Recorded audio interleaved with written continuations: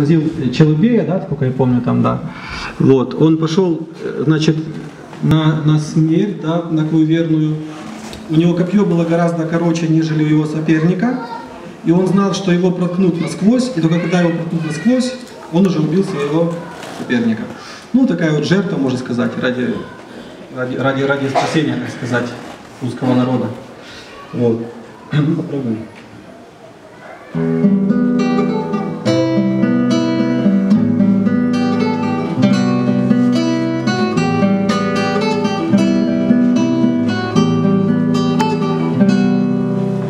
Сердце белого витязя мысленной клете томится.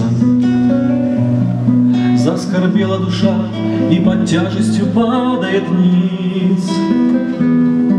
Для чего ты на русской земле, чернокрылая птица? Или мало у нас безутешных сирот и вдовиц? Для чего ты на русской земле, чернокрылая птица? Или мало у нас безутешных сирот и вдовиц? Для чего за тобой лукавых идут легионы? Все сметая вокруг, как лавина с неведомых гор. Вопиют к небесам на Руси колокольные звоны. Не отрини нас, Боже, вовек от лица Твоего. Вопиют к небесам на Руси колокольные звоны.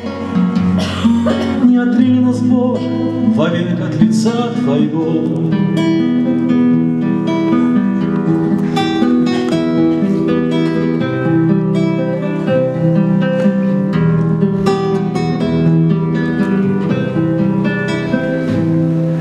Не отрини нас, Боже, кружит чернокрылая птица,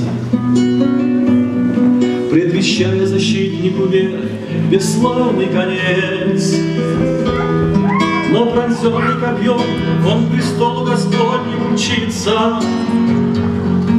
Светлый ангел душе преподобный сплетает венец.